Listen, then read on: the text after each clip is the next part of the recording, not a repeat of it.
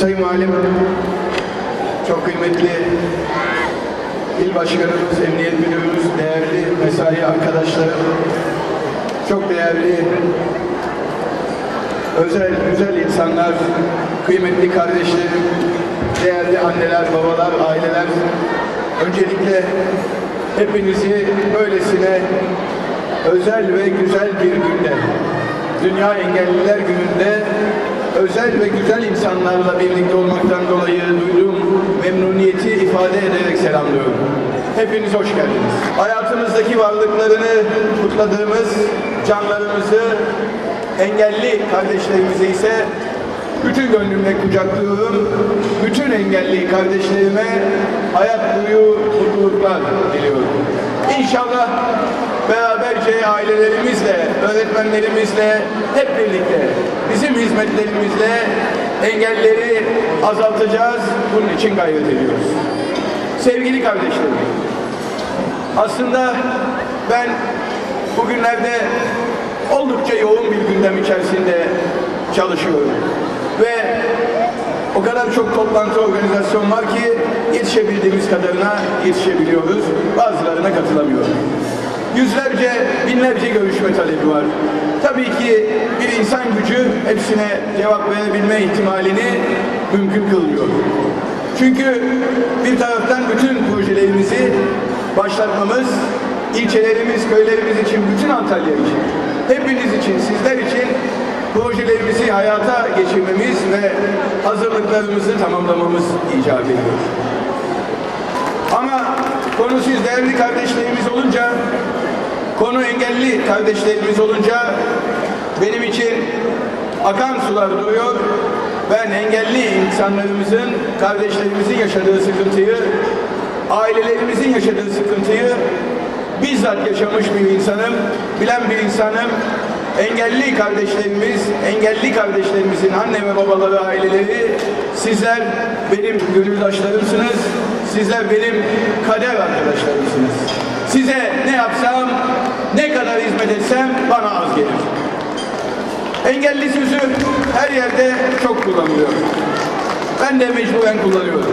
Ama esasen bu kadar tecrübeden sonra görüyorum ki az önce Sinevizyon'da da yazdı. Asıl engel sevgisizliktir. Asıl engel fiziki engel değil. Allah bir yerde insana eksiklik vermişse diğer taraftan fazlalık da veriyor. Ayağında engel olanın kolları güçlü oluyor. Görme engelli olan kardeşlerimizin duyguları güçlü oluyor. Bu sebeple insanda asıl engel gönüldeki engellerdir diye düşünüyorum.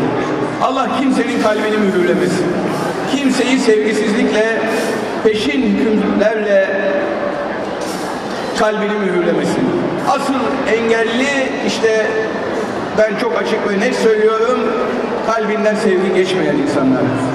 Gönlü sevgiyle dolu, kalbi temiz insan bence hiçbir zaman engelli değildir. Değerli kardeşlerim 30 Mart'ta seçimlerden önce engelli kardeşlerimle bir araya geldim. Mayıs ayında da bir araya geldik. Mayıs ayında da geldiğimizde engelsiz bir Antalya için çalışacağımı söylemiştim. Allah'a şükür. Ben bu sözümü hiçbir zaman unutmadım. Antalya Büyükşehir Belediyesi sosyal hizmetlerde örnek belediye olacaktır. Bu konuda uzman arkadaşlarımızı görevlendirdik.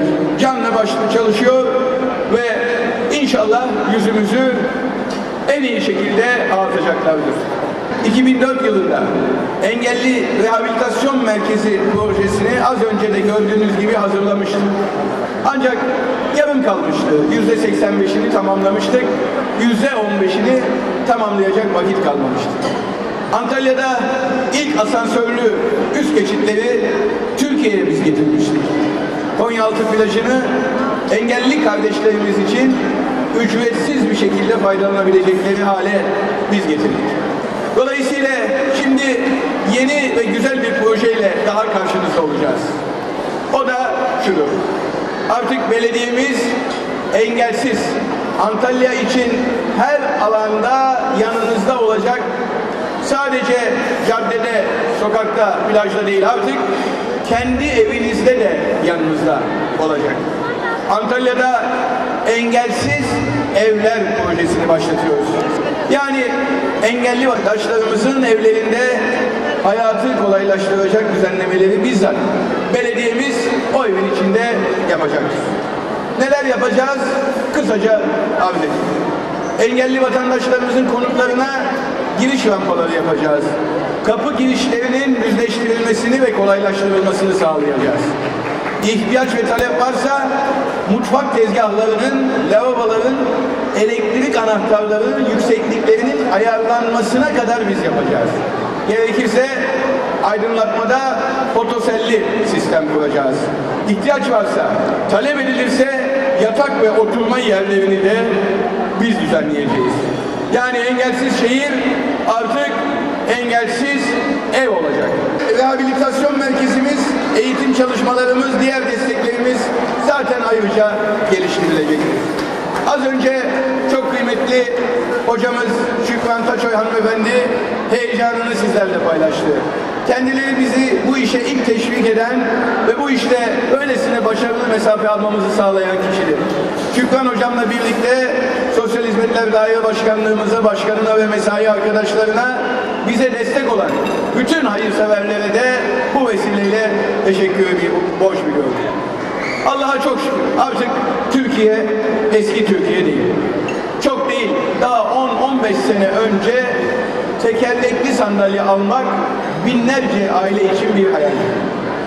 Binlerce insanın tek umudu bir kurumun, bir hayırseverin tekerlekli sandalye bağışı yapmasıydı. Oysa artık sosyal güvenlik kurumlarımız, belediyelerimiz bunları karşılıyor. Sağlık Bakanlığımız, belediyelerimiz, büyükşehirde dahil evde bakım hizmeti veriyor. İşte yeni Türkiye budur değerli kardeşlerim. Artık ihtiyacı olana destek olan bir Türkiye var. Eskiden sosyal devletin adı vardı. Şimdi kendisi var. Kalbi engelli olanlar bunları görmüyorlar. Türkiye'nin nereden nereye geldiğini görmüyorlar. Onlar zaten engelli vatandaşları, yoksulu, ezileni de görmüyorlardı. Sırça köşklerinde oturanlar, halkı görmeyenler, yoksulu görmeyenler, halka tepeden bakanlar, geçmişte halkın durumunu bilmeyenler, bugün geldiğimiz durumu anlayamazlar.